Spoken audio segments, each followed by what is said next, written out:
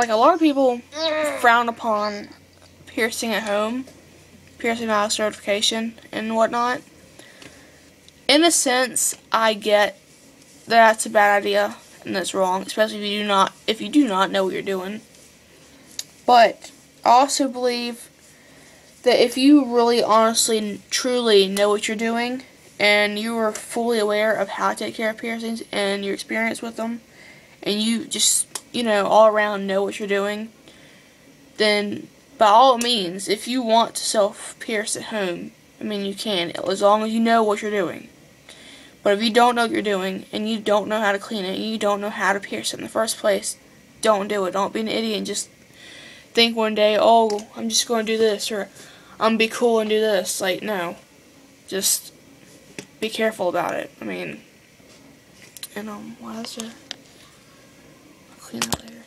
Um, so um, so yeah, and also I'm gonna get on the topic of stretching ears, which this will be quick because there's not really nothing to it. Um, like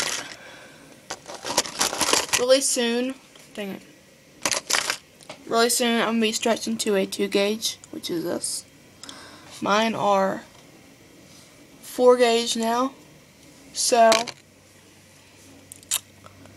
what really irks me are the people that like have like 16 gauge or 18 gauge ears and all of a sudden decide they want to stretch but they want to like be at a certain size. Right now say shove like a big ass taper through their ear.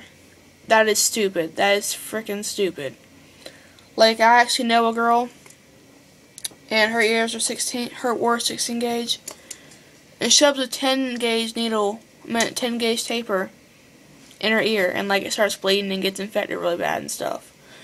And I'm just sitting there like, you really shouldn't have done that. You don't, you don't, don't skip sizes at all.